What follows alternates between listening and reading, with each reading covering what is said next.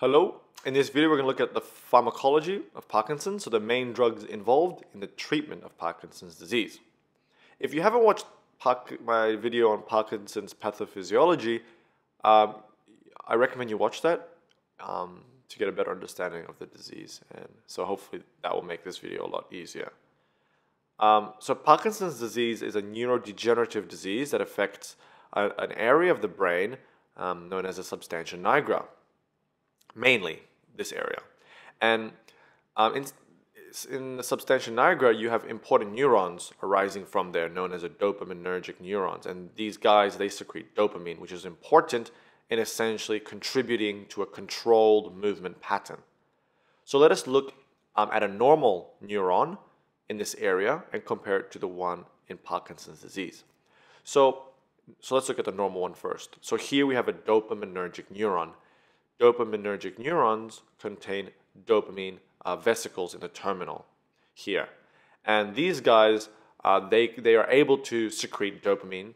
Um, and when they secrete dopamine, it will essentially um, either, either stimulate or it will inhibit um, these GABAergic neurons um, here. These GABAergic neurons are found in an area of the brain known as a caudate striatum. Um, the caudate striatum is made up of the caudate nucleus and caudate putamen. They, and again, these, this area contains GABAergic neurons, which receives information from the dopaminergic neurons from the substantia nigra. So these guys have dopamine receptors. When dopamine is released, it binds onto these dopamine receptors and either stimulates or inhibits the GABAergic neurons. Within the dopaminergic neurons here, uh, we have an enzyme, uh, monoamine oxidase. And these, these guys essentially break down the dopamine after it's being used. So it sort of helps in the recycling process. So Parkinson's disease is where we have degeneration of dopaminergic neurons. This means that we have no, like not much dopamine or no dopamine being produced by uh, the cells in this area. Now, these neurons um, in the central nervous system, in the substantia nigra, they're, surround, they're surrounded by, um, uh, they're protected by the blood-brain barrier. Just an important side note. Okay, so again, in a Parkinson's disease uh, patient, we have decrease in dopamine in the synaptic cleft because no dopamine is being produced because the neurons are dying.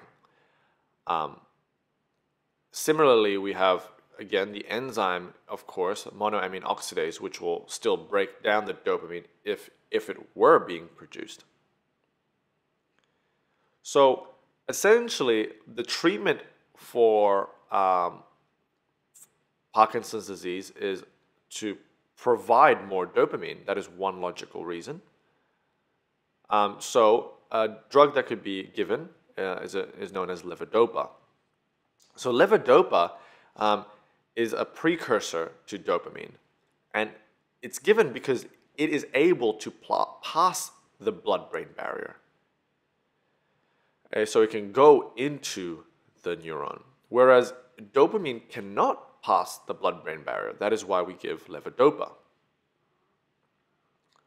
Unfortunately, in the peripheral system or in just the blood vessels, levodopa can be broken down by dopamine uh, carboxylase to uh, dopamine.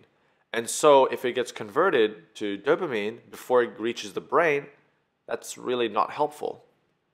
So usually um, we usually there's another drug which is given in, in combination with levodopa. Uh, these guys are known as decarboxylase inhibitors.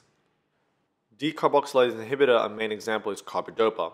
And these guys, again, they prevent the peripheral breakdown of levodopa to dopamine, allowing levodopa to essentially move into the dopaminergic neurons that are left over to produce more dopamine. However, levodopa in the periphery can also be broken down to 3-OMD by COMT. And so you, you also can administer a COMT inhibitor.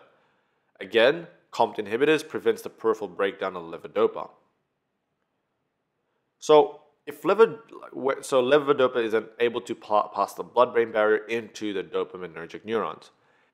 In the neurons levodopa can be converted to dopamine by carboxylase, uh, do- dopamine carboxylase. And so this neuron is able to produce and release more dopamine, um, lessening the symptoms, the signs and symptoms of Parkinson's disease.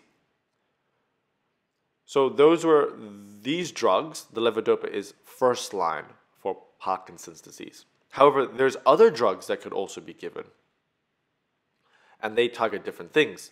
So, for example, you can actually have dopamine agonists, and these guys essentially bind and activate dopamine receptors, so they mimic the effects of dopamine. You can also administer um, monoamine oxidase inhibitors. So these guys inhibit the enzyme within the neuron that would other, otherwise break down dopamine.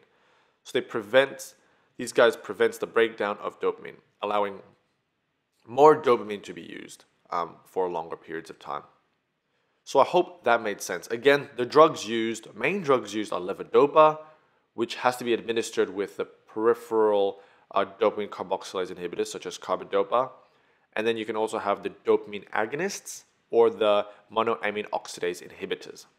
I hope you enjoyed this video on the pharmacology of Parkinson's disease. It was just an overview. Thank you very much for watching.